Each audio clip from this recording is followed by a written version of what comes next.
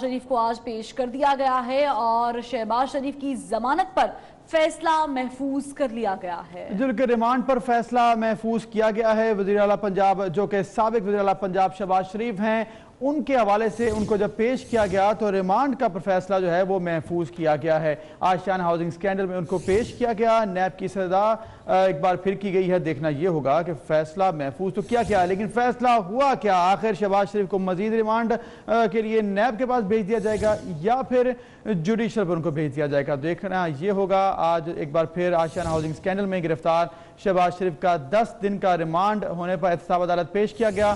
عدالت نے نیب کی مزید ریمانڈ کی درخواست پر فیصلہ محفوظ کر لیا ہے۔ دیکھنا یہ ہوگا کہ فیصلہ جو ہے وہ کب سنایا جاتا ہے۔ اب سے کچھ دیر بعد یقیناً فیصلہ سنایا جائے گا اور نیب کی روبرو ایک بار پھر شہباز شریف کو رکھا گیا اور ایک بار پھر استدا کی گئی نیب کی جانب سے عدالت میں سماعت ہوئی ہے۔ اب سے کچھ دیر پہلے کے یہ مناظر ہیں۔